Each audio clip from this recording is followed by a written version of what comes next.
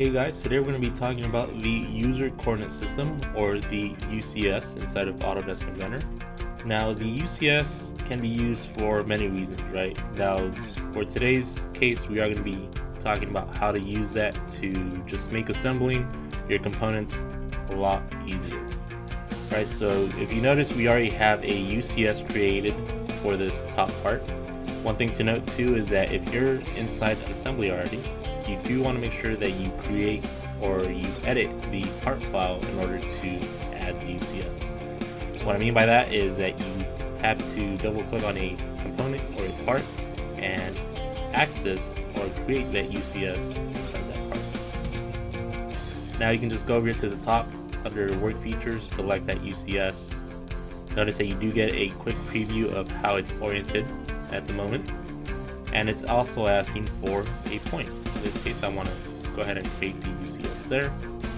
Now, a lot of people hit enter at this point, right? So if you were to hit enter, you'd see the UCS disappear.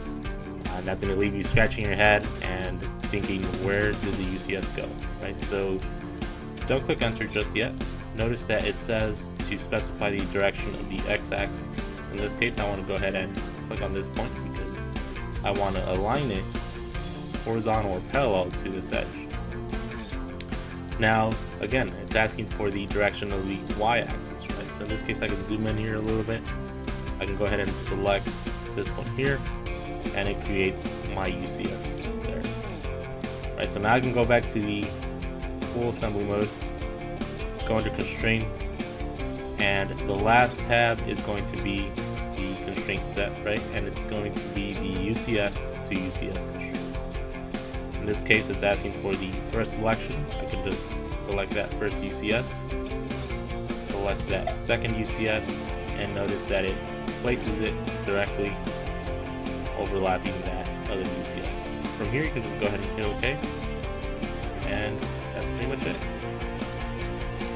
That's not going to allow the part to rotate because again, it's going to be collinear to the previous UCS, right? So that's all it took, just one click and now it's fully constrained. So that's been how to work with the UCS to UCS constraint inside of Autodesk Inventor. Hope that helped.